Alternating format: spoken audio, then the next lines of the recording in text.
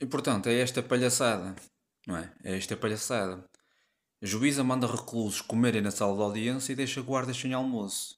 Resumidamente, do conteúdo da notícia percebe-se que os reclusos já tinham 20 refeições preparadas no estabelecimento prisional de Beja, uma vez que esta sala de audiências não possui calabouços para os, os reclusos comerem.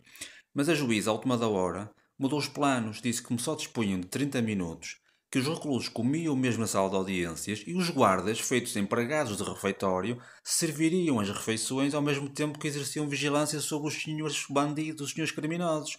E, portanto, é neste termo que são tratados os profissionais das forças de segurança como empregados de refeitório e depois foram almoçar dois à vez durante a tarde. Que maravilha, não é? Deixámos os profissionais de segurança sem, sem almoço e eles a servirem o almoço aos senhores, aos senhores criminosos juíza incompetente